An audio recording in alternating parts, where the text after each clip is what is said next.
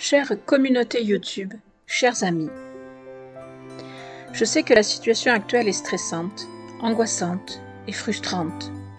Mais rien, non rien, ne doit venir ternir ce moment, cette fête de Noël, cette fête de famille, cette fête pour un petit bébé né dans une étable.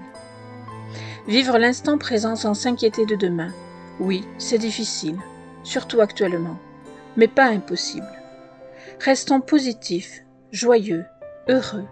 Nous le devons à ceux qui, avant nous, ont traversé leur lot de misère, de guerre, de galères, et qui n'ont jamais abandonné, qui nous ont montré le chemin envers et contre tout, nos aïeux.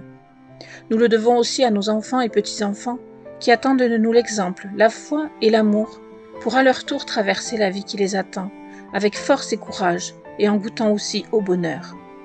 Comme je l'ai dit dans ma lettre au Père Noël, mon souhait le plus cher est que chacun ait l'amour dans sa vie, que chacun soit amour pour son prochain. Je vous souhaite un très heureux Noël, plein d'amour, d'amour et d'amour. Prenez soin de vous. Love, Clary.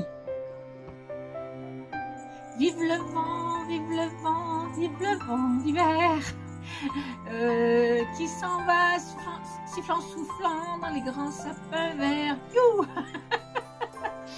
Plein de bonnes choses. Je vous embrasse.